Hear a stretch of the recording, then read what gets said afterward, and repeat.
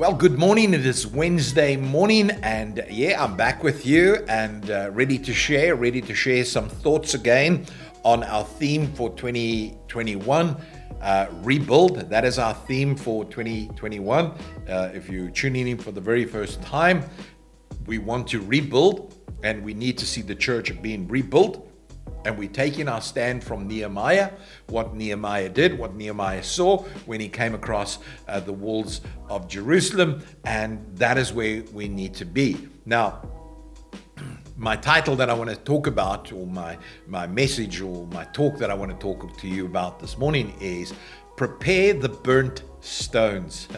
Notice this prepare the burnt stones. Yeah, many of us have been burnt as a result of this pandemic. Uh, we have broken, been broken down. Many of us have lost loved ones. Many of us lost jobs, businesses, and so we're in this fragile situation in our own lives that also need rebuilding. So it's not just the church that needs to be rebuilt, but you need to be rebuilt. And possibly you might feel like a burnt stone today. You might feel uh, Pastor, how can I play a part in in establishing the kingdom of God and and and helping rebuild that what the enemy has robbed from us when my own life is in a place of shambles. Well, you see, again, as you learn how to put your faith and trust in God to build his kingdom, as you establish his, he will establish yours. Because there's a principle in the things of God. When you put God first in your life, then God puts you first in all the things that need to be done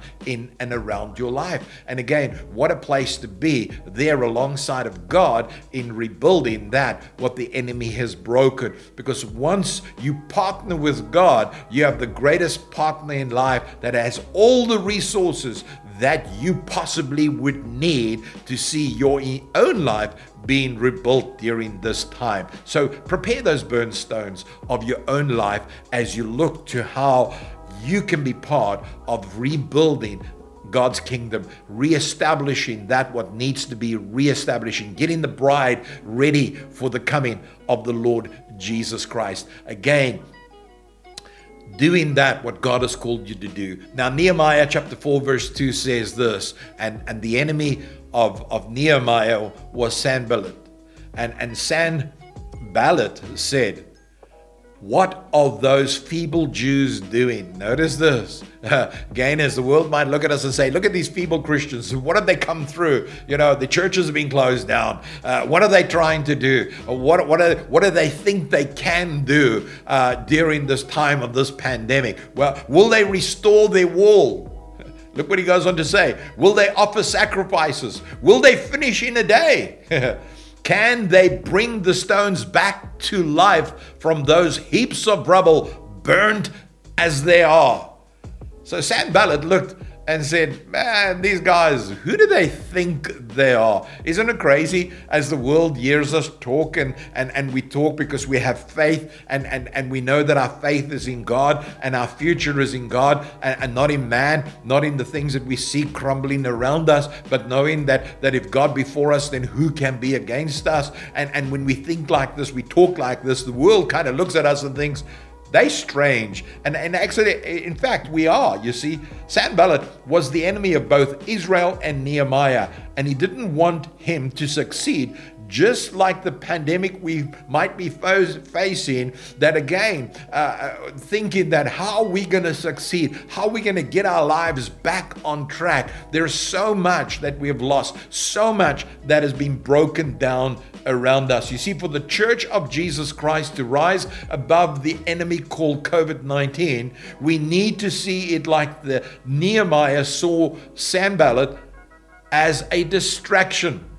Now, you need to go back and you need to read the book of Nehemiah because I do not have the time just to go through verse for verse, but you will see again the strategy of Sanballat, of, of what he tried to do, the way he tried to distract Nehemiah, and what Nehemiah did in return. He wouldn't bow down to him, he wouldn't listen to him, he wouldn't take his, his uh, uh, uh, call from him, as it were, of the direction that he was to take. In fact, he knew that he had a job to do. He realized that he had a period, a short period of time, a short window of time to get the walls ready and reestablish them the way they needed to be done before the enemy took over. You see, Sanballat wanted to distract Nehemiah through fear by reminding him that he was a slave held captive by a king. He, he wasn't going to find his freedom in what he was doing. Now, again, I, I want to say to you this that at times this is what the devil wants you to feel. He wants you to feel like you are a captive, held captive by the devil himself. Now, we have our freedom and we have found our freedom, and no one can remove that freedom from us because our freedom is found in what Jesus Christ accomplished upon the cross of Calvary. You see, to break into this new year, the king that had captured the world still ruled through fear. And as a result of that, fear was still a driving force. And Sanballat thought that he would come with the fear tactic and he would try to distract Nehemiah with a fear tactic. And, and this actually, in actual fact, motivated him.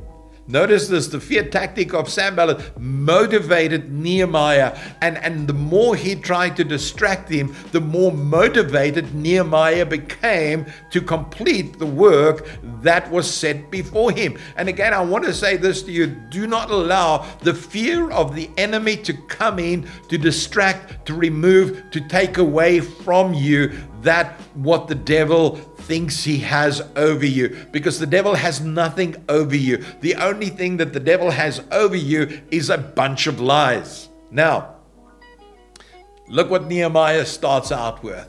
Every time Sanballat comes to try and distract him, Nehemiah goes back and this is what he says God of heaven, God who keeps his covenant of unfailing love with those who love him and obey his commands. Now, this is what Nehemiah was saying. The God in him and for him was greater than the fear that Sanballat tried to force upon him. You see, he reminds God that he is in an, in an unbroken covenant relationship with him. He knows that God will respond on his behalf. Today, you might feel that fear again has gripped your heart, I want you to push fear aside and allow yourself to know that God is with you, God is for you, and God is not against you.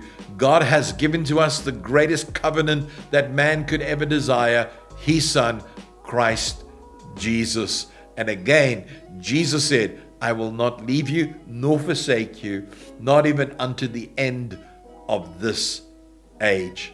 Stay strong. Do not allow fear to dominate your life.